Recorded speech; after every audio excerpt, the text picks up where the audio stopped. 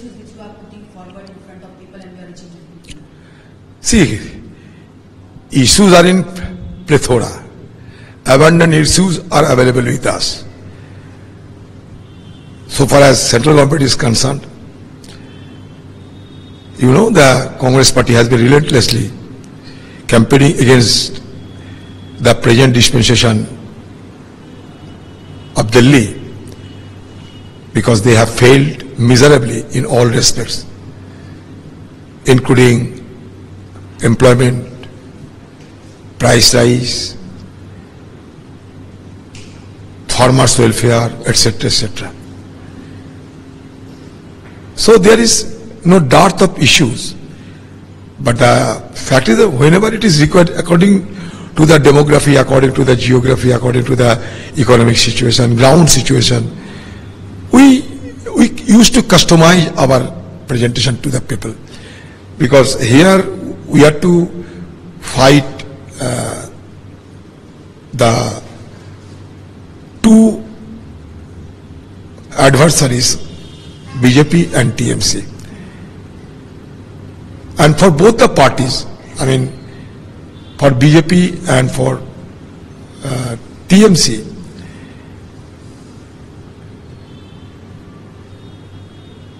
common people are well aware of those two parties and we try to highlight their failures uh, at the central by, by the central government as well as the state government. And I think abundant issues are available with us. There is a particular issue that we have been harping on the same. It depends upon the situation, upon the demography, upon the geography, etc., etc. It is customized always. Of minority candidates, to make any changes on your vote? No, no, no, no. I do not care a fig for it. It may be the design of the uh, ruling party of West Bengal. They try to drive a, I mean, wedge between the two communities and they have been exhausting all their resources to prove that this time the candidate fielded by the ruling party should be given more preference because he belongs to minority community and me, I mean, with the running MP, belongs to Hindu community. So the communal polarization is being played up by the BJP, uh, TMC party in order to make a dent in the minority section of work of my constituency. But I think this ploy will be rebuffed by the common voters. The main TMC says that we are with the India alliance. In nationally we can say, but not in Bengal. But then what it, what it makes that they do not give, they give their candidates out here just against you. So if they are in, uh, together in the national alliance, why not in Bengal? What are the reasons? See, Mamata Banerjee uh, has proved that she is a, such a political personality who could not be trusted. She is un भाई एदिके जाओ एदिके जाओ she is unreliably unpredictable political personality who used to change her opinion like chameleon creed. When the concept of India came into existence, he started appropriating the credit of the name of the conglomerations. But after a few days, she started clamoring that she is going to abandon the India alliance like Nitish Kumar. My question very simple. Which had triggered Mamata Banerjee to quit the India alliance? That must be first answered by her.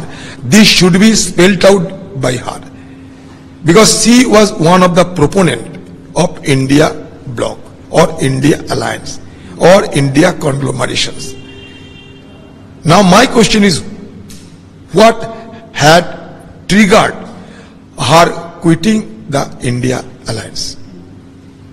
There lies the crux of the issue because she has been succumbing to the pressure mounted by Modi regime and pusillanimously she had succumbed to that pressure.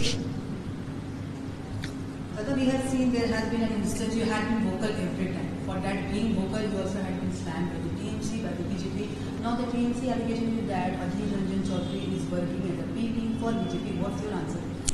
Well, Adhir Ranjan Chowdhury? Is working as a B team for the BJP. It, it, it, is all allegation.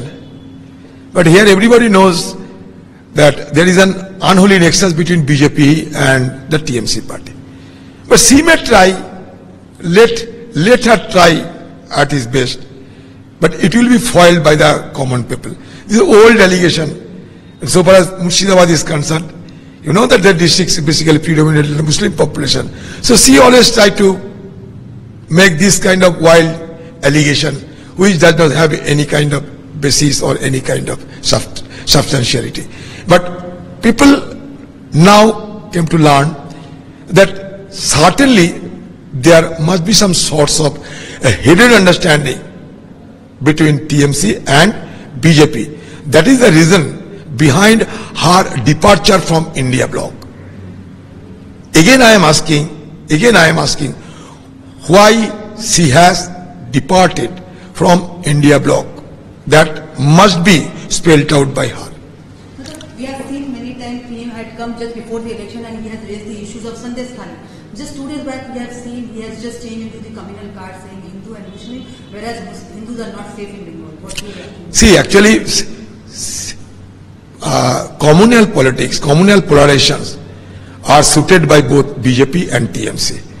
In earlier occasion also in the year 2001, even the earlier general elections 2019, both the TMC and BJP party had ripped up the electoral dividend out of communal polarizations.